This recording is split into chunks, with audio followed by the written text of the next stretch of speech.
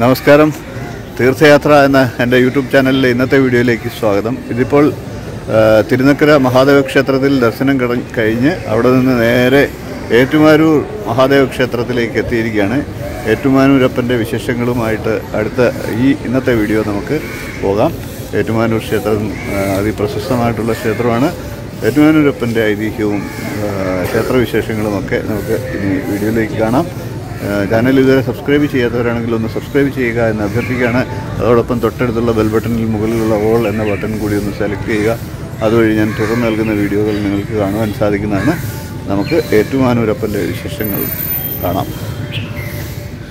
ഏറ്റുമാനൂർ മഹാദേവ ക്ഷേത്രം കോട്ടയം ജില്ലയിൽ Ettumanoor നഗരഹൃദയത്തിൽ M C റോഡിന്റെ കിഴക്ക് വശത്ത് സ്ഥിതി ചെയ്യുന്ന ഒരു പ്രസിദ്ധമായ ശിവക്ഷേത്രമാണ് ഏറ്റുമാനൂർ മഹാദേവ ക്ഷേത്രം. രൗദ്രഭാവത്തിലുള്ള പരമശിവനാണ് മുഖ്യപ്രതിഷ്ഠ രാവിലെ അഘോരമൂർത്തിയായും ഉച്ചയ്ക്ക് ശരഭമൂർത്തിയായും വൈകിട്ട് അർദ്ധനാരീശ്വരനായും സങ്കല്പിച്ചാണ് ആരാധന. സർവദുരിതങ്ങൾക്കും ഇവിടുത്തെ ദർശനം ഫലപ്രദമെന്നാണ് വിശ്വാസം. ഈ ക്ഷേത്രത്തിന്റെ ഉൽപ്പത്തിയെക്കുറിച്ച് നിരവധി ഐതിഹ്യങ്ങളും പുരാണ വസ്തുതകളുമുണ്ട്. ഖരപ്രതിഷ്ഠയാണെന്ന് വിശ്വസിക്കുമ്പോഴും പരശുരാമൻ സ്ഥാപിച്ച കേരളത്തിലെ നൂറ്റിയെട്ട് ശിവക്ഷേത്രങ്ങളിൽ ഒന്നാണെന്നും കരുതിപ്പോരുന്നു. നാലേക്കറിൽ കൂടുതൽ വരുന്ന സ്ഥലത്ത് പടിഞ്ഞാറോട്ട് ദർശനമായിട്ടാണ് ഏറ്റുമാനൂർ ക്ഷേത്രം സ്ഥിതി ചെയ്യുന്നത്. ക്ഷേത്രത്തിൽ ഉപദേവതകളായി ഗണപതി ദക്ഷിണാമൂർത്തി ശാസ്താവ് ദുർഗ യക്ഷി നാഗദൈവങ്ങൾ എന്നിവർക്കും പ്രതിഷ്ഠകളുണ്ട്. കൂടാതെ ക്ഷേത്രത്തിനടുത്തായി അന്തിമഹാകാളൻ ക്ഷേത്രവും ശ്രീകൃഷ്ണ ക്ഷേത്രവുമുണ്ട്. കുംഭമാസത്തിൽ തിരുവാതിര ആറാട്ടായുള്ള പത്തു ദിവസത്തെ ഉത്സവമാണ് ക്ഷേത്രത്തിലെ പ്രധാന ആണ്ടുവിശേഷം. ഇതിനിടയിൽ വരുന്ന എട്ടാം വിളക്കും അന്ന് നടക്കുന്ന ആസ്ഥാന മണ്ഡപ ദർശനവും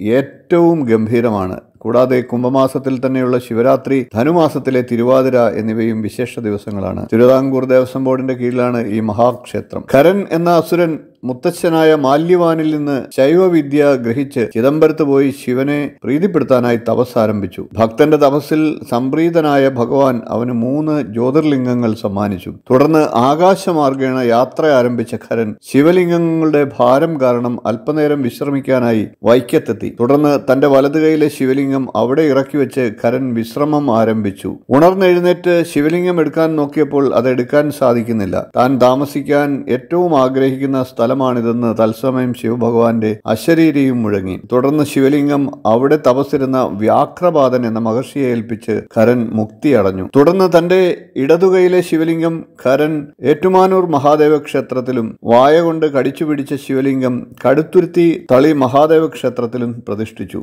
ഇന്നും മൂന്ന് ക്ഷേത്രങ്ങളിലും ഉച്ചപൂജയ്ക്ക് മുമ്പ് ദർശനം നടത്തുന്നത് പുണ്യകരമായി വിശ്വസിച്ചു വരുന്നു. ഏറ്റുമാനൂർ ക്ഷേത്രത്തിന് ഏകദേശം ആയിരത്തിലധികം വർഷം പഴക്കമുണ്ട് എന്നാണ് കണക്കാക്കപ്പെടുന്നത്. ആദ്യം വടക്കുംകൂർ രാജാക്കന്മാരായിരുന്നു ഇതിന്റെ ഊരാഴ്മക്കാർ എട്ടുമനക്കാർ എന്നാണ് അതിന് പറയുന്നത്. എട്ടുമനയൂർ എന്ന പേരാണ് പിന്നീട് ഏറ്റുമാനൂർ എന്ന സ്ഥലപ്പേരായി വന്നത്. ക്ഷേത്രത്തിലെ അതിപ്രസിദ്ധമായിട്ടുള്ള രണ്ട് പ്രത്യേകതകളാണ് ക്ഷേത്രത്തിലെ വലിയ വിളക്കും ഏഴര പൊന്നാനയും. ക്ഷേത്രത്തിലെ ബലിക്കൽപുരയിൽ സ്ഥാപിച്ചിട്ടുള്ളതാണ് വലിയ വിളക്ക്. വൈക്കത്തേതുമായി നോക്കുമ്പോൾ താരതമ്യേന ചെറിയ മതിൽക്കകമാണ് ഏറ്റുമാനൂരിലേത്. എന്നിരുന്നാലും ഏകദേശം അഞ്ച് ഏക്കർ വിസ്തീർണം ഇവിടെയുമുണ്ട്. എം സി റോഡിന്റെ കിഴക്ക് ഭാഗത്ത് നടരാജമൂർത്തിയുടെ രൂപം കൊത്തിവെച്ച ക്ഷേത്ര കവാടം നമുക്ക് കാണാം. ആ ക്ഷേത്ര കവാടത്തിനകത്ത് തന്നെയാണ് വാഹന പാർക്കിങ്ങും സൗകര്യവും ഉള്ളത് അത് കഴിഞ്ഞ് അല്പദൂരം നടന്നാൽ വലിയ ആൽമരം കാണാം. ക്ഷേത്രത്തിന് നാല് ഭാഗത്തും ഗോപുരങ്ങളുണ്ടെങ്കിലും പടിഞ്ഞാറ് ഭാഗത്തുള്ളതാണ് ഏറ്റവും വലുത്. ഇതിന്റെ വടക്ക് പടിഞ്ഞാറ് ഭാഗത്താണ് ശ്രീകൃഷ്ണ ക്ഷേത്രം സ്ഥിതി ചെയ്യുന്നത്. കീഴ്ത്രിക്കോവിൽ എന്നാണ് ഈ ക്ഷേത്രത്തിന്റെ പേര്. ഉഗ്രമൂർത്തിയായ ശിവന്റെ കോപം കുറയ്ക്കാനാണ് ഇവിടെ ശ്രീകൃഷ്ണൻ കുടികൊള്ളുന്നത് എന്നാണ് പറയുന്നത്. ശ്രീകൃഷ്ണൻ എന്ന് പറയുന്നുണ്ട് എങ്കിലും യഥാർത്ഥത്തിൽ ചതുർബാഹുവായിട്ടുള്ള മഹാവിഷ്ണുവാണ് ഇവിടെ പ്രതിഷ്ഠ. കിഴക്കോട്ട് ദർശനമായി കുടികൊള്ളുന്ന മഹാവിഷ്ണുവിന് ഉപദേവതകളായി ഗണപതിയും കുടികൊള്ളുന്നു. പ്രധാന വഴിയിൽ നിന്ന് അല്പം ഇറങ്ങിയാണ് ഗോപുരത്തറ.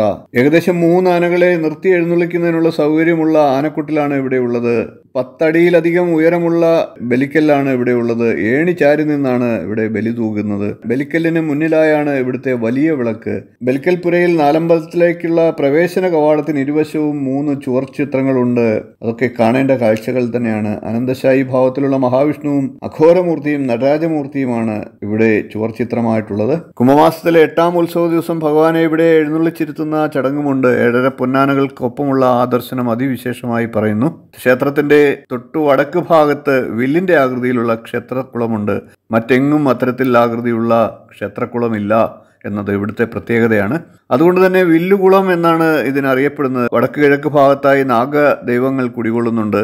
മിക്ക മഹാക്ഷേത്രങ്ങളെയും പോലെ ഭീമാകാരമായ വട്ട ശ്രീകോവിലാണ് ഇവിടെയുള്ളത്. കരിങ്കലിൽ തീർത്ത ഈ ശ്രീകോവിലിന് ഒറ്റ നിലയേ ഉള്ളൂ. അത് ചെമ്പുമേഞ്ഞതുമാണ്. ശ്രീകോവിലിന് മുകളിൽ സ്വർണ താഴികക്കുടമുണ്ട് ശ്രീകോവിലിനകത്ത് മൂന്ന് മുറികളുണ്ട്. അതിൽ കിഴക്കേ അറ്റത്തുള്ളതാണ് വിഗ്രഹം പ്രതിഷ്ഠിച്ചിരിക്കുന്ന ഗർഭഗ്രഹം മൂന്നര അടിയോളം ഉയരം വരുന്ന ശിവലിംഗം രണ്ടര അടി ഉയരം വരുന്ന പീഠത്തിൽ പടിഞ്ഞാറോട്ട് ദർശനമായിട്ടാണ് പ്രതിഷ്ഠിച്ചിരിക്കുന്നത്. അലങ്കാര സമയത്ത് ശിവന് പ്രിയപ്പെട്ട കൂളമാല തുമ്പപ്പൂമാല രുദ്രാക്ഷമാല എന്നിവ കൊണ്ട് ശിവലിംഗത്തിന്റെ മുക്കാൽ ഭാഗവും മറഞ്ഞിരിക്കും. വിശ്വപ്രകൃതിയുടെ മൂല തേജസ്സിനെ മുഴുവൻ ആവാഹിച്ചുകൊണ്ട് ഏറ്റുമാനൂരപ്പൻ ശിവലിംഗമായി ശ്രീലകത്ത് വാഴുന്നു. ശ്രീകോവിലിന് ചുറ്റും മനോഹരമായിട്ടുള്ള ചുവർചിത്രങ്ങളും ദാരുശില്പങ്ങളുമുണ്ട്. ശ്രീകോവിലിന് മുന്നിൽ ചതുരാകൃതിയിൽ നമസ്കാര മണ്ഡപമുണ്ട്. പതിനാറ് കാലുകൾ ഈ മണ്ഡപത്തിനുണ്ട് എന്നുള്ളതാണ് പ്രത്യേകത. ചെമ്പുമേഞ്ഞ നമസ്കാര മണ്ഡപത്തിന് മുകളിൽ സ്വർണത്താഴികക്കുടവുമുണ്ട്. ഇവിടെയും പുരാണ കഥകൾ ശില്പങ്ങളായി ആവിഷ്കരിക്കപ്പെട്ടിട്ടുണ്ട്. മണ്ഡപത്തിന് വടക്കു പടിഞ്ഞാറും വടക്ക് കിഴക്കും മൂലകളിൽ യഥാക്രമം ദുർഗാദേവിയും യക്ഷിയമ്മയും കുടികൊള്ളുന്നു.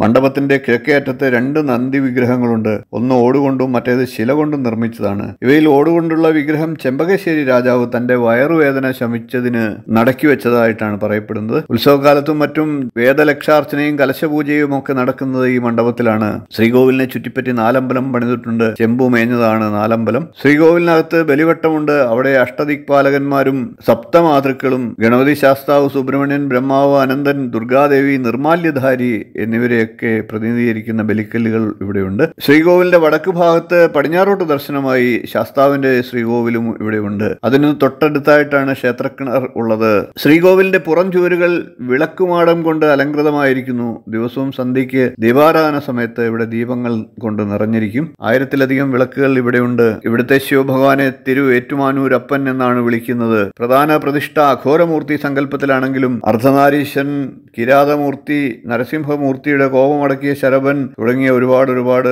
പാഠഭേദങ്ങളും പല സമയത്തായിട്ട് ഇവിടെയുണ്ട്. കുംഭമാസത്തിലെ തിരുവാതിര ആറാട്ടായി പത്ത് ദിവസമാണ് ക്ഷേത്രത്തിൽ ഉത്സവം നടക്കുന്നത്. ആറാട്ടിന് പത്ത് ദിവസം മുമ്പ് സാധാരണയായി ചതയനാളിലാണ് ക്ഷേത്രത്തിൽ കൊടിയേറ്റ് നടക്കുന്നത്. ഉത്സവത്തോടനുബന്ധിച്ച് വിശേഷാൽ ശിവേലിയും രണ്ടാം ദിവസം മുതൽ ഉത്സവ ബലിയും നടന്നു വരുന്നു കോട്ടയം തിരുനക്കര ക്ഷേത്രത്തിൽ ദർശനം നടത്തി അവിടെ നിന്ന് നേരെ ഞങ്ങൾ ഏറ്റുമാർ ക്ഷേത്രത്തിലേക്കാണ് എത്തിയത്. ഏഴുമണിക്ക് മുമ്പ് തന്നെ ഇവിടെ ദർശനം ഞങ്ങൾ നടത്തിയിരുന്നു. ഇവിടെ നിന്ന് പ്രഭാത ഭക്ഷണം കഴിച്ച് മള്ളിയൂർ വൈക്കം കടുത്തുരുത്തി ചോറ്റാനിക്കര കൊടുങ്ങല്ലൂർ എന്നീ ക്ഷേത്രങ്ങളിലേക്ക് പോകാനാണ് ഞങ്ങൾ ഉദ്ദേശിക്കുന്നത്. പ്രഭാത ഭക്ഷണത്തിനായി പാചകരംഗത്തെ പ്രസിദ്ധനായിട്ടുള്ള പഴയിടം മോഹനൻ നമ്പൂതിരി തിരുമേനിയുടെ റെസ്റ്റോറന്റ് ഇവിടെയുണ്ട്. പഴയിടം രുചി എന്ന റെസ്റ്റോറന്റിൽ തലേദിവസം തന്നെ തിരുമേനിയോട് വിളിച്ച് ഞങ്ങൾക്ക് വേണ്ട ഭക്ഷണം നേരത്തെ തന്നെ ബുക്ക് ചെയ്തിരുന്നു. പഴയിടം രുചിയുടെ ദൃശ്യങ്ങളും നമുക്ക് ഈ വീഡിയോയിൽ കാണാം. ഭക്ഷണത്തിന് ശേഷം വീണ്ടും ക്ഷേത്ര ദർശനത്തിനായി യാത്രയാകുകയാണ്. ഏറ്റുമാനൂരപ്പന്റെ വിശേഷങ്ങൾ നിങ്ങൾക്ക് ഇഷ്ടപ്പെടുമെന്ന് തീർച്ചയാണ്. വീഡിയോ ഇഷ്ടപ്പെട്ടുവെങ്കിൽ ഒന്ന് ലൈക്ക് ചെയ്യുക ഷെയർ ചെയ്യുക ചാനൽ ഒന്ന് സബ്സ്ക്രൈബ് ചെയ്തേക്കുക. തുടർന്നുള്ള ദൃശ്യങ്ങളിലേക്ക് നമുക്ക് യാത്ര പോകാം. ക്ഷേത്രത്തിന്റെ പടിഞ്ഞാറേ നടയിൽ ഇവിടെ പഴയിടം രുചി. അപ്പോൾ അങ്ങനെ ഇവിടെയാണ് ഭക്ഷണത്തിന് നല്ല ഭക്ഷണം. നമ്മുടെ പഴയിടം മോഹനൻ നമ്പൂതിരി അദ്ദേഹത്തിന്റെ ഭക്ഷണശാലയാണ്. എല്ലാവർക്കും ഏറ്റുമാനൂർ അമ്പലത്തിൽ വരുന്നവർക്ക് ഇവിടെ ഭക്ഷണം ഒന്ന് നോക്കാം. പഴയിടം രുചി. നമുക്ക് അങ്ങോട്ട് പോവാം.